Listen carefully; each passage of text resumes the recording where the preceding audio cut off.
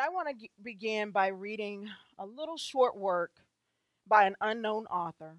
You might be familiar with it, but I'm going to go ahead and I believe it's going to segue into the message today. Amen? Okay.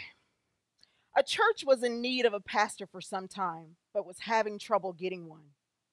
But not because pastors weren't applying, but because the congregation always seemed to find fault in the pastors. Most pastors were rejected when the people just read the resume. Some didn't have enough experience, some had too much, some didn't have enough education, some had too much, and so on. So one day, one of the board members who was getting very tired of this decided to do something about it.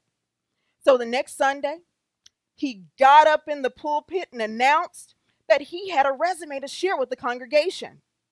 Most of them just sat back and folded their arms and began to listen, ready to see what faults they could find in the new applicant. The board member began to read, and the resume went like this Dear church members, I am writing to apply for a position as pastor. My experience is more along the lines of evangelist, but I believe I could fill your position quite adequately. I've never attended any Bible school per se, but I have a lot of field experience. I don't have a degree on the wall or a wall for that matter. I've traveled around most of my life renting and doing odd jobs to support myself and preaching wherever I was invited churches, streets, even jails. As a matter of fact, I've been thrown in jail several times and been involved in a few public squabbles. I've been accused of causing disturbances almost everywhere I go. But I have I did have a few conversions to Christianity during my ministry, as well as a few healings. Thank you for considering my application. Most of the people looked up at the deacon with smirks of condemnation while others chuckled out loud. Even stood up and, still laughing, asked the deacon, Does this guy actually expect us to seriously consider him for our pastor? Just what's this fellow's name anyway? The deacon replied that the letter was signed the Apostle Paul. You could have heard a pin drop. Wow. In today's standards, that probably that probably that resume probably would have been put underneath the bottom of the stack. Wow, no degree. He probably doesn't even have a high school diploma. Wait, he's been in jail? Oh, he's a felon too. Wow, why should we consider him for our pastor? Well, if I were to title this message today, it would be How's Your Resume? How's your resume? Go with me to Philippians 4 and 9. 4 and 9. Philippians 4 and 9. And when you say when you have it, say amen. And while you're getting that, I need that drink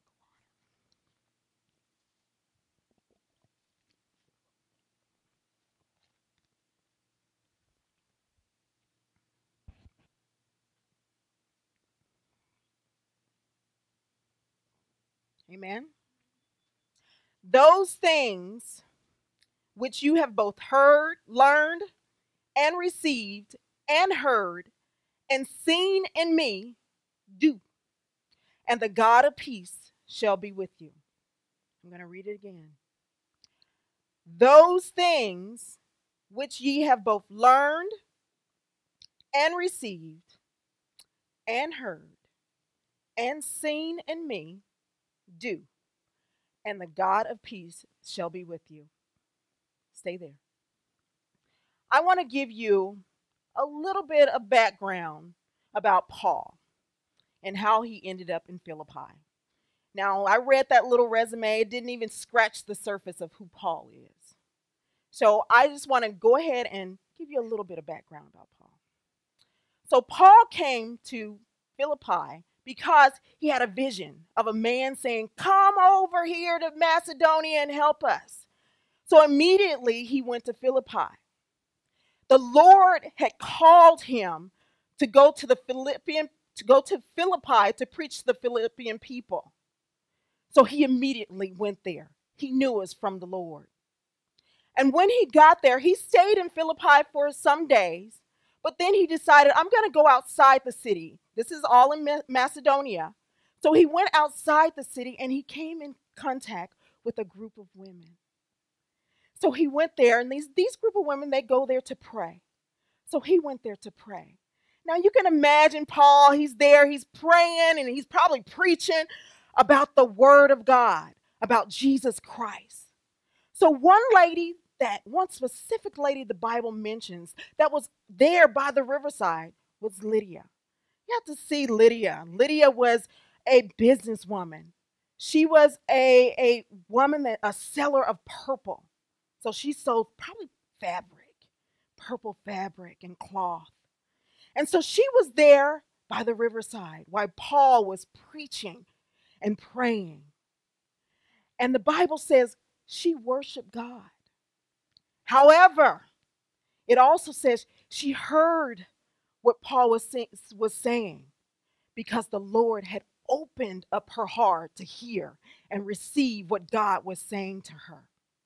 Now you got to understand that was the first encounter with Paul, with, with Lydia that Paul had. And so Lydia, it opened, she received what Paul was saying. She understood and she listened and she heard what Paul was preaching to her, and which led to baptism. And so that led her, you got to understand that faith comes by hearing and hearing the word of God. She was there by the riverside and she heard Paul preaching about Jesus Christ. She heard him. And so she rendered, surrendered her life to Jesus Christ. She had baptized, she got baptized. And not only her, her household got baptized too. And so that was the first encounter. The second encounter while he was there. Just think Paul and Silas and his team walking down the street. And this lady, well, some Bibles say she was a slave girl, some say she's a damsel. And she's up there and she's saying, These men are the servants of the Most High God who proclaim the way of salvation. And so he's like, Oh, okay, yeah, yeah, you're right. We are. Yep. But several days passed, and he's him and Paul, they're walking, and she's saying again, These men are the servants of the Most High God who proclaim to us the way of the salvation. And she keeps saying it and keeps saying it. And Paul got annoyed. The Bible said he grieved. He got annoyed by it. And he immediately knew that that was a spirit in her. And he commanded that the spirit come out. And that spirit came out that very hour. Amen. That was the second encounter. But you got to understand that he made some people mad. He made some people mad. Do you know when you're doing the work of the Lord, everybody's not going to be happy with you? You're going to make some people mad along the way. So he made some people mad. During that time, fortune tellers, which she was, fortune tellers, you know, people can make money off of the fortune tellers. And so she had these masters that were making, that were getting profits and gaining profits off of her. And so they got mad because she could no longer fortune tell for her. She could no longer see the future. And so they got mad and said and went to the police. Well, says the magistrates in the Bible.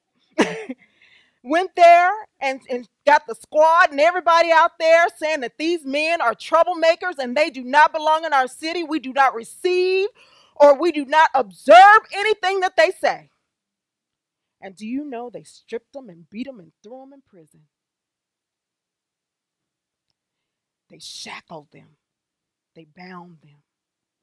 And sometimes we might be in a place where it feels like we have nowhere out that we feel like we don't have anyone to call on. But you know, we can call on Jesus Christ. He's our resource, He's our lifeline. We can always call on Him. And don't you know, in the midnight hour, Paul and Silas, they were praying and they were singing hymns unto Jesus Christ. And don't you know, the prisoners were listening. They heard them. They heard what they said. Hallelujah. And suddenly there was an earthquake. And don't you know? Their shackles were broken, the doors were open. Hallelujah. God is a good God. Hallelujah. No matter what you're going through, He's there for you. Hallelujah. And so, Paul, like I said, the prisoners were listening, but there was this jailer. He was scared. Just think all of a sudden, an earthquake, and you're like, what's going on? The doors all opening and uh, the shackles are loose. Oh my goodness. The jailer was scared. So he went. Oh my goodness. He went and he was about to kill himself. And Paul yelled out, Don't do yourself no harm. Hallelujah. And the jailer went to Paul and Silas and said, Sirs, what must I do to be saved? What must I do to be saved? Hallelujah. And they said, Believe on the Lord Jesus Christ, and you will be saved. Hallelujah. He said, Believe on the Lord Jesus Christ, and you will be saved. And not just him, his household too. Hallelujah. His household too. And so they went back to their home. They cleaned up. They ate and they rejoiced. They got baptized, the family and the jailer got baptized. That was the second and the third encounter that he had in Macedonia. Paul, he was one of those men that stayed on track. He fulfilled his priorities. Even in jail, he, he knew his mission. He knew what God had sent him there to do. And he stayed on track, didn't miss a beat at all. He didn't lose his sense of passion, his mission, and direction. When we're going on journey sometime, you guys, this journey of life, sometimes we're to go through peaks and valleys. Sometimes we're to be on top of the on top of the peak and just be all happy. But Paul wants us to understand and that's why he's writing to the Philippian people. No matter what circumstances, no matter if you're in the valley, to rejoice. Be happy in your circumstances because you have a resource. And not just God, Jesus Christ, you are all the resources. I know when I'm a project manager at my job, and one of the things that we have to do with planning, and I'm going a little bit too fast, I'm sorry. one, one thing that we do is planning, and that is um, within that planning plan, we have to count up the costs.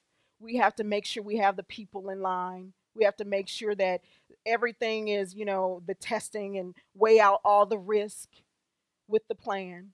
But one thing that we have to make sure is we have to make sure we have the resources. And sometimes, you know, those resources for us is our subject matter experts. And so when we have those resources, those are the people, when I get my resources, me myself, I get people that I know that know more than I do. That if I don't know it, I'm pulling on you to tell me the answer. And so we have ministers and deacons and, and we have pastors and first ladies here in our congregation and fellow and all the ministers of Christ and Christians to be our resources.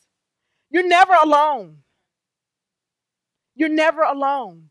You have those people to pull on if you need help. Go to Jesus Christ first. But He also put us down here to help.